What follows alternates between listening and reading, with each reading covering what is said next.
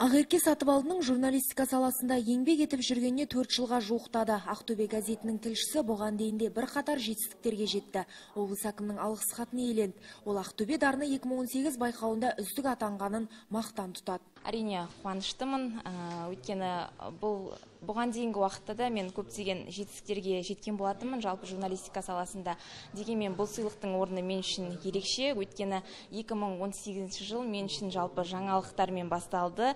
Ә, ақтөбедегі ә, қара шаңыраққа айналған талай журналистердің алғашқы еңбек жолы басталған ақтөбе газетіне қызметке ауысып осы жерде жеткен жетістіктерімнің ең үлкен шоқтығы биігі осы қала әкімі ақтөбе дарыны 2018 жастар сыйлығына ие болып отырмын Конкурсқа барлығы 400-ге жоқ адам қатысты. Олардың арасында ғылым, журналистика, спорт, өнер саласында жүрген үздіктер бар. Бұдан бөлек еріктілер мен бүгінгі күннің батырлары да марапатқа ие болды.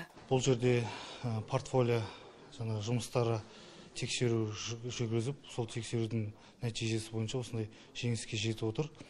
Бұл жастар Ақтөбе дарын 2018 жастар сыйлығын Ақтөбе қаласы жастар ресурс орталығы бірінші рет ұйымдастырып отыр. Салтанатты шарадан соң қала әкімінің қатысуымен жастар саясаты және патриоттық тәрбие жөніндегі кеңестің отырысы өтті. Онда Алияс Испанов бірқатар бөлім басшыларының баяндамаларын тыңдап, нақты тапсырмалар жүктеді. Жолсалмас қызы Мержан Аманшолов, Ақтөбе телеарнасы.